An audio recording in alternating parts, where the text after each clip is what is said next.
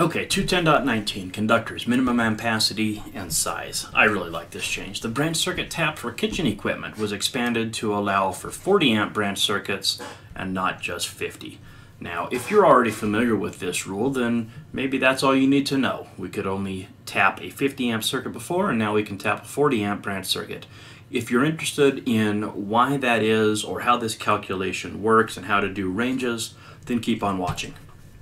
We go into 210.19a3, household ranges and cooking appliances. This is the general rule, this isn't the change. It says conductors for household ranges, ovens, cooktops, and similar must be rated not less than the branch circuit. Okay, you got a 40 amp circuit, you need 40 amp wire. If you have a 50 amp circuit, you need 50 amp wire. Easy enough. Ranges that are 8 and 3 quarter kW or more require a minimum 40 amp branch circuit. All right, so this is the range in my house. I lifted the, you know, took the lid down and uh, the, opened the oven door, took a picture of it, and it was 14.2 kW, which actually surprised me. That's a, a pretty big range, and my, my range isn't really anything special. But we go to table 220.55 and we figure out how to do the branch circuit. And table 220.55 is a pretty overwhelming table the first time you use it, and, and really until you get quite comfortable with it. It's pretty overwhelming. If you're new to it, let me make a recommendation to you. Take a big marker or whatever it is that you like to mark up your book with, a highlighter, a sharpie, a pen, draw a big vertical line between columns B and C, because this is where a lot of people screw up right off the bat.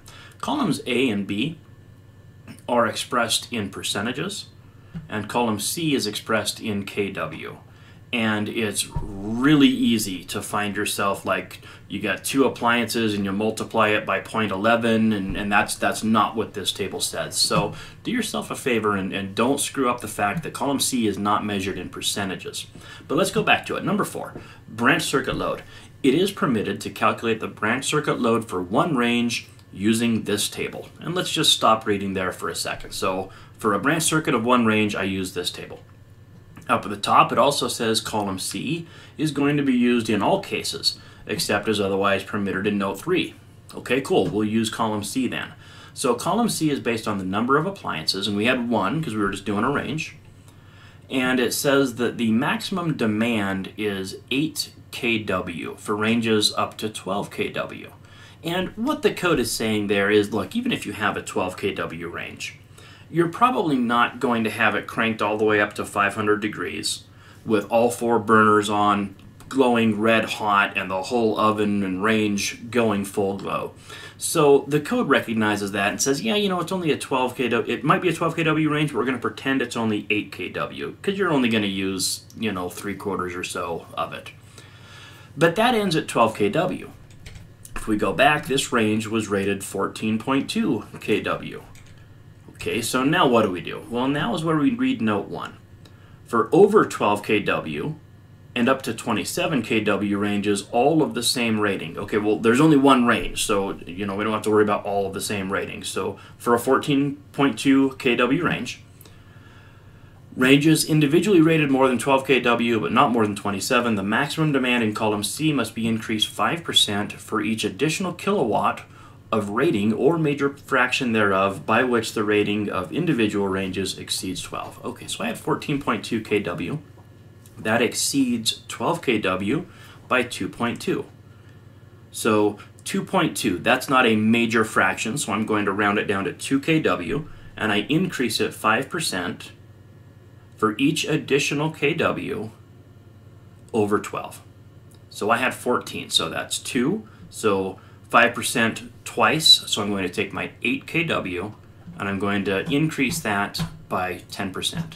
So get my calculator out, I've got 8 times 1.1 is 8.8 kW. Beautiful.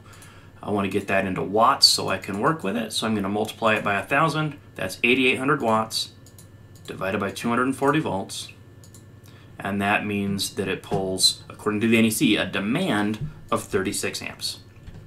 Now there's no such thing as a 30 amp breaker or fuse, so I'm going to put it on a 40 amp circuit, run 8 gauge wire, and I've satisfied the general requirement. So that's how I do one range. Nice and easy. Let's look at the change here. The change talks about multiple pieces of kitchen equipment in the same kitchen. A branch circuit not exceeding 50 amps. And right there you can see the change. It used to say a 50 amp branch circuit. Now it says a 40 or 50 amp branch circuit. Can be tapped for ranges, ovens, or cooktops. The taps must be no longer than needed for servicing the appliance and have an ampacity of at least 20 amps. Okay, so the taps have to be at least 12 gauge, but what we're saying is you can bring a 40 or 50 amp branch circuit to a junction box and then tap appropriately sized wire to the cooktop and each of the two ovens. Now when I say appropriately sized, minimum 12 gauge, and they have to carry the load. Not any sort of demand factor, but the actual load. So I'm going to actually go off the nameplate when I size the tap conductors. Let's do an example. Here I've got my two ovens and I have my cooktop. Now I want to go back to the table really quick because we need to keep reading note number four. It says the branch circuit load for one wall-mounted oven or one counter-mounted cooking unit is the nameplate rating of the appliance. Easy enough. The branch circuit load for a counter-mounted cooking unit, so a cooktop, and up to two ovens all supplied from a single branch circuit located in the same room, can be calculated by adding the nameplate rating of those individual appliances and treating it as one range. All right, so I've got two ovens and a cooktop. I'm going to take the nameplates of those three, add them up, call it one range. So I've got two 3.25 kW ovens and one 7.1 kW cooktop. So I take my 3.25 plus 3.25 plus 7.1, and that equals 13.6 kW. Now again, going back to it, column C ends at 12 kW, and we have to do what? For every uh, kW over 12, or a major fraction thereof, we have to add 5%. Well, we had what, 13.6 was it? Yeah, 13.6. So that is 1 plus a major fraction of a kW, 0.6. So now we're going to treat it as though it's 14 kW. So we're going to take our 8, and wouldn't you know it, it's the exact same as the range we just did. 8 times 1.1 equals 8.8 times 1,000 divided by 240, as we know, is 36 amps. So I'm going to treat this whole assembly the exact same way that I treated this range. Now you see why the code change makes sense. I've always been able to use a 40 amp circuit for this individual range. And we're saying that the accumulation, the sum of these three pieces of equipment is the exact same as the range we just did but I could put the range on a 40 amp circuit, and if I wanted to use taps, I had to use a 50 amp circuit. Well, that makes no sense at all. So now we're saying, look, if, if the math works and you can put it on a 40 amp circuit, put it on a 40 amp circuit. Let's size the tap conductors. The taps have to be what? No smaller than 12 gauge, and they have to satisfy the load to be served. So each of these ovens is what? 3.25 kW. So if I take my 3250 divided by 240. That means each of those two ovens pulls 13 amps. Now, the tap conductors have to be at least 12 gauge, as we already know, so I'm going to pull 12 gauge to each of those ovens. And then for my cooktop, it was what, 7.1? So 7.1 kW times 7.1 kW times 1000 equals 7100 watts. Divide that by 240.